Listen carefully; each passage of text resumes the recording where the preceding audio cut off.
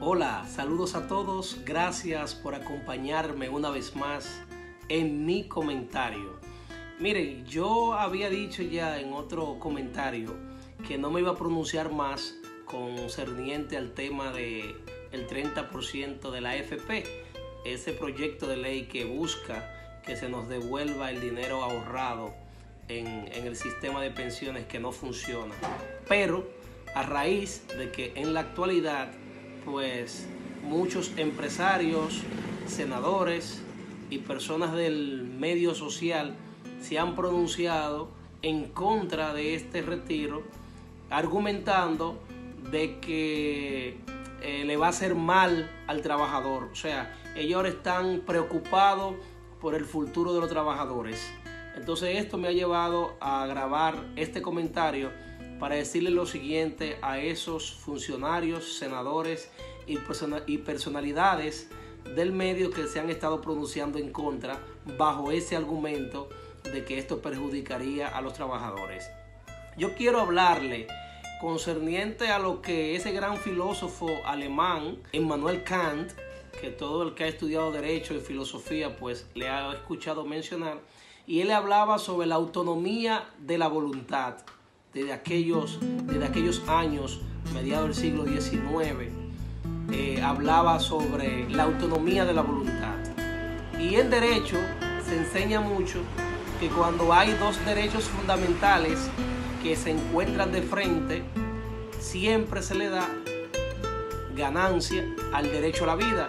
Sin embargo, en los últimos años, tanto en Chile como en varios estados de Estados Unidos, como en Illinois, Connecticut, son varios estados ya que en, en algunas ocasiones han preferido darle ganancia de causa al derecho de la autodeterminación de la voluntad por, encima incluso del derecho a la vida. La historia eh, recoge un grupo de situaciones que se han dado principalmente con personas testigos de Jehová que han firmado documentos donde prohíbe que se le hagan transfusiones de sangre por cuestiones religiosas. Sin embargo, jueces le han dado ganancia de causa a esa voluntad expresada de ese ciudadano, incluso por encima del derecho a la vida. ¿Qué quiero decir con esto?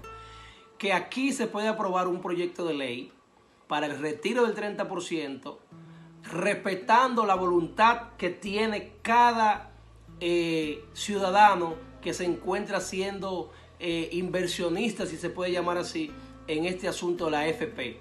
Yo de manera particular quisiera que a mí me dieran el derecho de yo elegir que me dieran la, potestad de que se me cumpla ese derecho a la autodeterminación de la voluntad. O sea, yo puedo decidir lo que quiero. Y hay 4 millones aproximadamente de dominicanos y dominicanas que quieren el retiro de la AFP.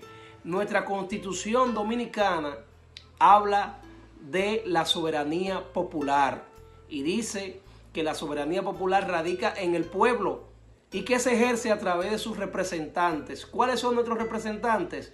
Los senadores y los diputados. Y entonces, ¿por qué si estos senadores y diputados son los que nos representan a nosotros, ellos no representan nuestra voluntad?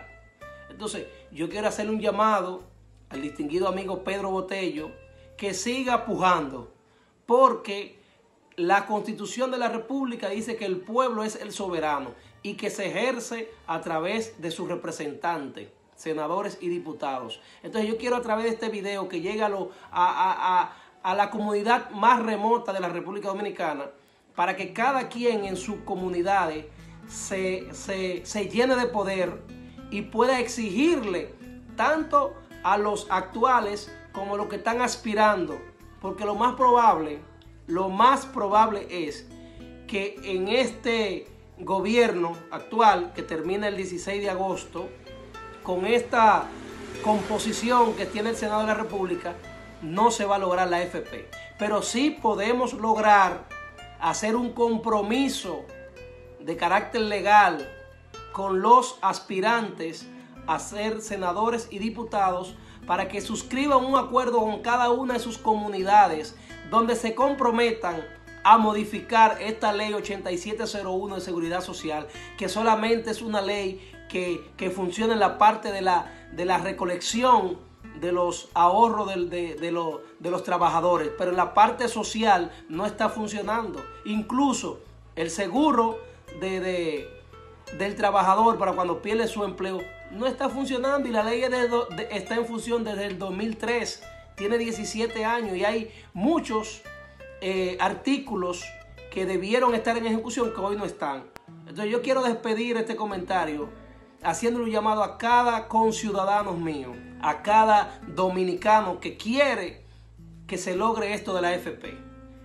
Yo se lo digo claro, lo más probable que con este Congreso no se logre, pero vamos a exigirle a los que hoy se quieren repostular y a los que quieren eh, llegar por primera vez a que hagan un compromiso socio-legal con cada comunidad donde se, se pacte que de ellos llegar hacer, hacer eh, que sean electos como senador o diputado, que hayan quedado comprometidos para que se apruebe una modificación a la ley 8701, donde se puedan subsanar un sinnúmero de errores y de deficiencias que tiene esta ley. Así que hasta aquí mi comentario en el día de hoy. Les pido que le den me gusta a la página y que la compartan para que pueda llegar a más y más dominicanos. Muchas gracias.